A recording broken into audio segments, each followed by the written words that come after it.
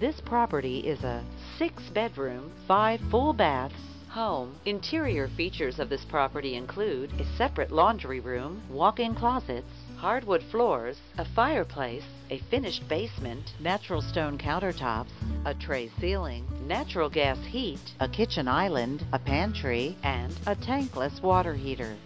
On the outside, this property features a garage, a fenced yard, a covered patio, a deck, a balcony, a professionally landscaped lawn, a brick exterior finish, a cul-de-sac location, and a built-in gas grill. Community amenities include a swimming pool,